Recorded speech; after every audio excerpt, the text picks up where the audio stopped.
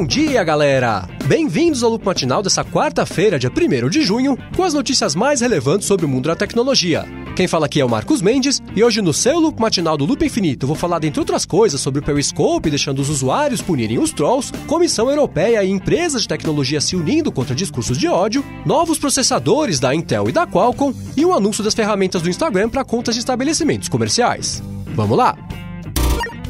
Eu começo o episódio de hoje falando sobre o Airbnb, que abriu uma central de reclamações de vizinhos, que foi uma coisa que eu comentei por aqui dia desses que ia começar a acontecer. A partir de agora, qualquer pessoa pode acessar o endereço airbnb.com/neighbors ou então airbnb.com.br/neighbors e pode registrar uma reclamação relativa a um apartamento que a pessoa sabe ou acha que é alugado pelo Airbnb. O vizinho pode escolher entre algumas categorias, tipo barulho, festa, uso errado de áreas comuns do prédio e até segurança pessoal e atividade criminosa, e deixa alguns dados de contato que o Airbnb pode usar para pegar mais informações sobre a reclamação. Interessante a novidade do Airbnb. Como em algumas situações os donos da casa não se preocupam muito se o hóspede está se comportando ou não, a empresa achou um jeito bem criativo e bem eficiente para tratar do problema.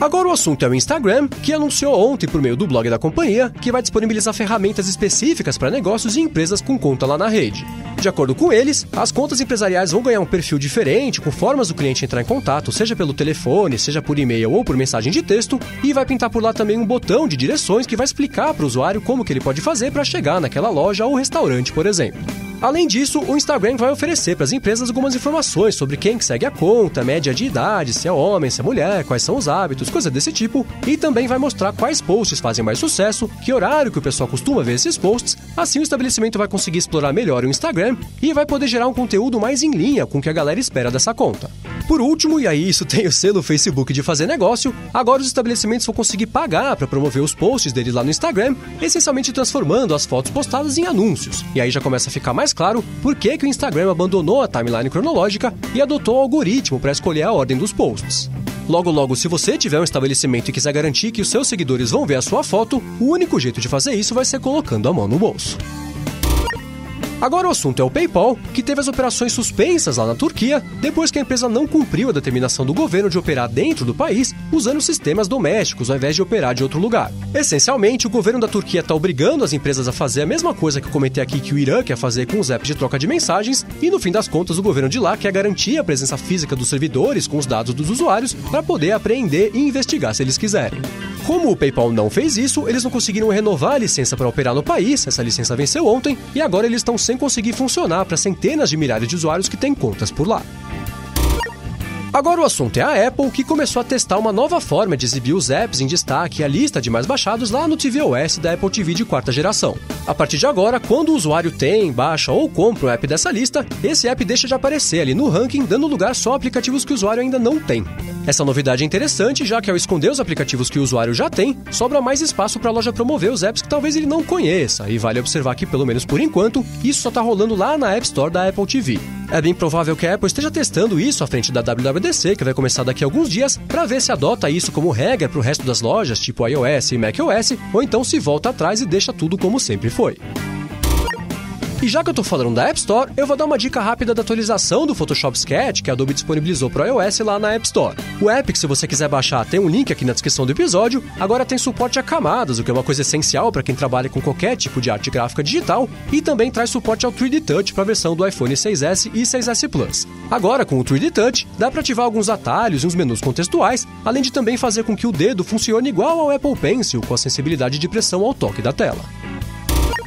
Agora o assunto é o relógio barra pulseira Gear Fit 2 da Samsung, que teve as especificações vazadas ontem pelo site Sam Mobile. De acordo com o post, o Gear Fit 2, que já teve o design revelado em outros vazamentos de foto, imagem promocional e tudo mais, vai contar com uma tela curva de Super AMOLED de 1 polegada e meia com 216 por 432 pixels de resolução, um processador dual-core de 1 GHz, 512 MB de RAM e 2 GB de capacidade interna e certificação IP68 de resistência à água, o que é uma boa notícia para quem quiser nadar com ele. Completando a lista, vai ter uma bateria de 200 mAh, sistema operacional Tizen 2.3, GPS, um outro sistema russo também de localização chamado GLONASS, e os sensores dele são o giroscópio, barômetro, acelerômetro e um leitor de frequência cardíaca. Ainda não tem nenhuma informação a respeito do preço ou disponibilidade do Gear Fit 2, mas a expectativa é que ele seja anunciado oficialmente pela Samsung ainda nesse mês.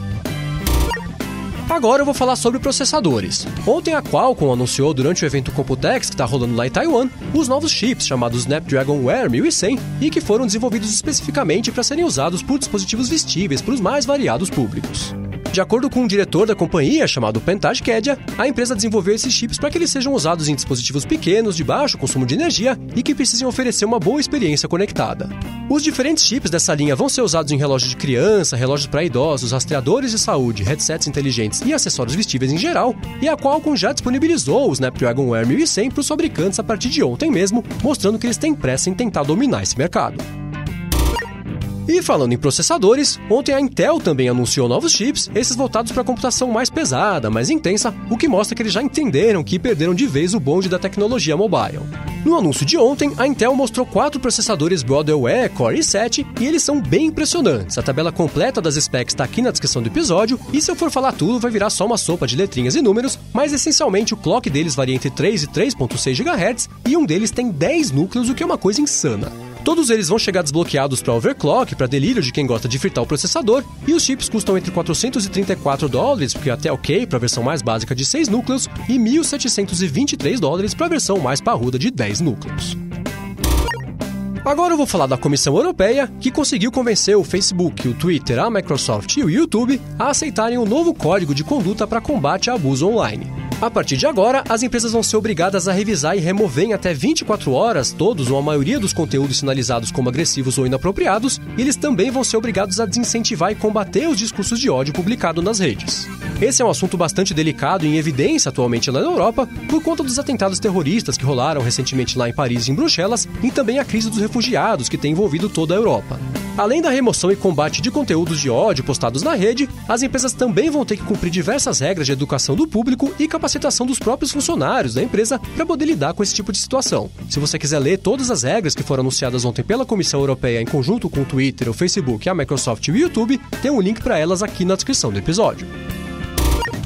Ainda sobre esse assunto de combate ao pessoal que não sabe ser gente na internet, ontem o Periscope, que é do Twitter, anunciou um novo jeito de combater os trolls que ficam lá falando bobagem durante as transmissões ao vivo na plataforma. A partir de agora, sempre que você estiver lá acompanhando uma transmissão e aparecer um troll selvagem, você vai conseguir sinalizar o comentário dele como inapropriado e cinco pessoas aleatórias que também estão acompanhando a transmissão vão ser sorteadas para definir se aquele comentário é mesmo abusivo ou não. Se essa espécie de júri relâmpago decidir que o cara é mesmo um mané, ele vai ficar proibido de comentar na transmissão durante um minuto. Já se o mané insistir na manezice dele e resolver continuar trolando nos comentários depois de um minuto, ele vai ficar proibido de comentar até o final da transmissão. Agora, por que, que o Periscope não bloqueia ou bane o troll para sempre depois que ele garante o atestado de mané dele? O Periscope disse que acha importante oferecer oportunidade para a pessoa se comportar melhor da próxima vez e acha que essa nova dinâmica vai ajudar a mudar esse comportamento.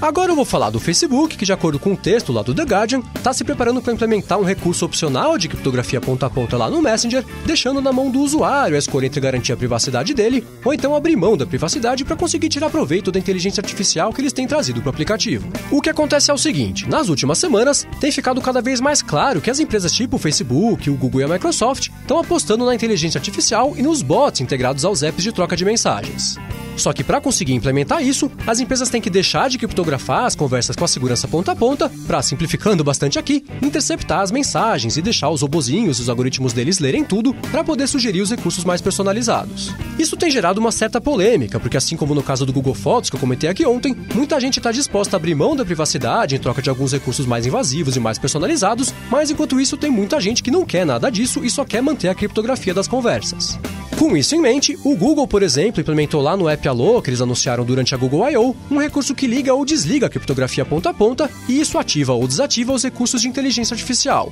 E pelo menos segundo com essa matéria do The Guardian, o Facebook resolveu seguir esse mesmo caminho, o que é uma ótima notícia para quem valoriza mais a segurança e menos os recursos personalizados. De acordo com a matéria, ainda não existe um prazo para isso ser liberado para os usuários, mas como essa briga dos principais apps de troca de mensagens está ficando cada vez mais quente, não deve demorar muito para o Facebook fazer isso. É isso aí, galera. O loop matinal do Loop Infinito vai ficando por aqui. Os links das notícias de hoje vocês encontram aqui na descrição do episódio e também lá no youtube.com/loopmatinal e no soundcloud.com/loopmatinal. Se você quiser falar comigo no Twitter, procura por MV Sementes que eu tô sempre por lá. Obrigado a todos pela audiência. Não deixe de se inscrever lá no canal do Loop Infinito no YouTube e eu volto amanhã de manhã. Falou!